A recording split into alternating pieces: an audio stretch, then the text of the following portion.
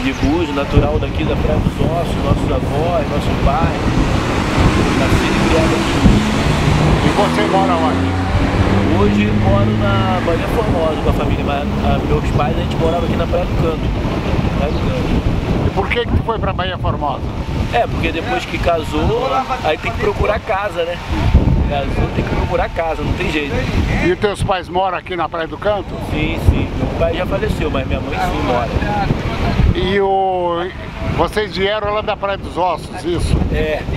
Antigamente que morava todo mundo na Praia dos Ossos, assim meus avós, meu pai contava pra gente que eu não conheci meu avô, falando.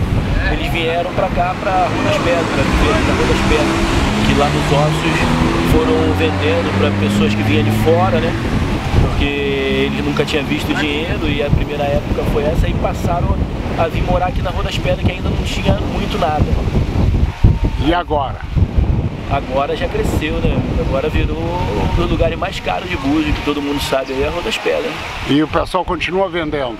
Continua, porque quem aguentou até agora, é, que são poucos, acaba que chega uma, uma, um tempo que não aguenta mais. Mas o problema todo que hoje ainda se vende pelo um bom preço, que as pessoas já têm um pouco mais de noção. Mas naquela época vendia por uma, por uma bagatela, por uma bicharia, às vezes trocava até por, uma, por um carro, por um carro velho, uma Brasília né, da época.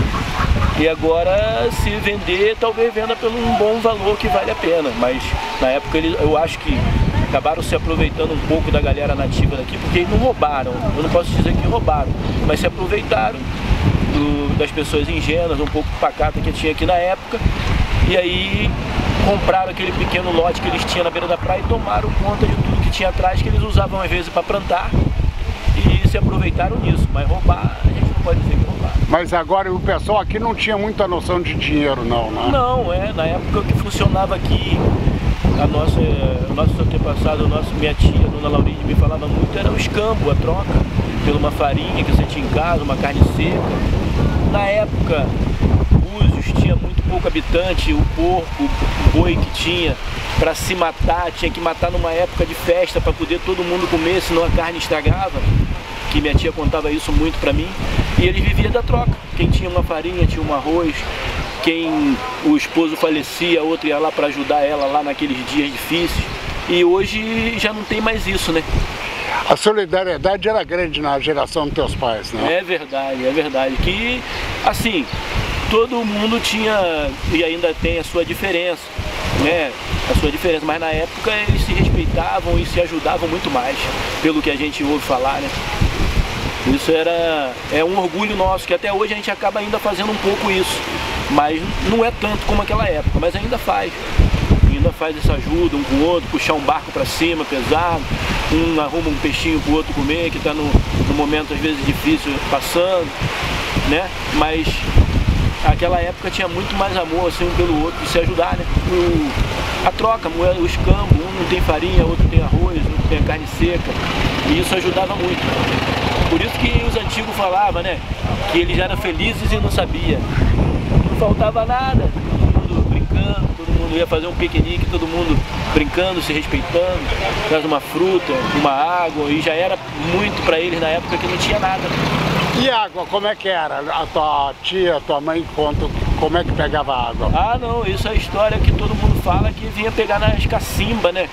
De, de barril, de tonel de barril rolando, ou então na, naquelas, naquelas é, caixas na cabeça, né? Na, na, nas lata d'água na, lata d'água na cabeça, ou então ia rolando no, nas cacimbas de água para levar até em casa.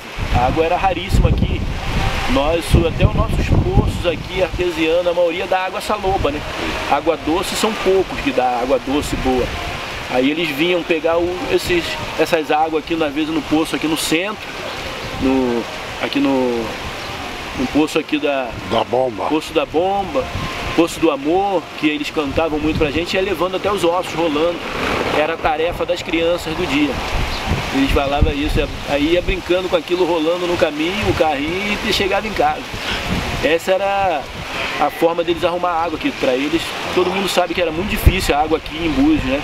Até hoje vem encanada, não é água daqui de perto, vem encanada de longe para poder abastecer a gente aqui, ou caminhões de água. E Mas eu... aqui é uma cidade que mesmo assim para mim, que tenho 35 anos, que sobrevivo do mar sempre desde criança com a pesca, agora com o turismo, é um lugar muito bom para se viver. Às vezes nos entristece ver algumas pessoas falando alguma coisa má de Búzios, mas eu tenho aqui para falar para vocês que quem fundou essa cidade, nossos avós, nossos pais, é, nossos amigos antigos, eles formaram isso aqui com maior amor e carinho, com muita garra, com muita luta e a gente tem que respeitar aonde a gente chegou através desses antigos.